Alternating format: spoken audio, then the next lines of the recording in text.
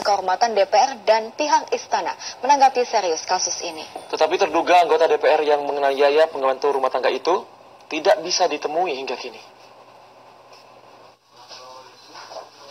Empat hari sudah anggota DPR Komisi 4 dari fraksi P3 Fani Safriansyah atau Ivan Has heboh terseret isu penganiayaan asisten rumah tangga.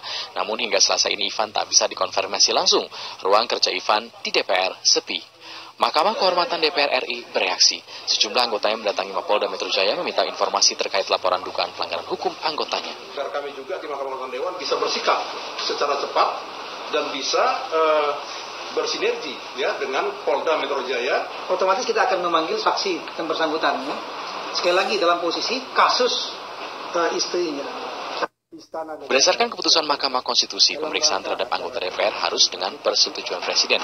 Kepala Staf Kepresidenan Teten Mas Duki memastikan Presiden tidak akan mempersulit pemberian izin pemeriksaan. Saya kira izin itu tidak akan dipersulit.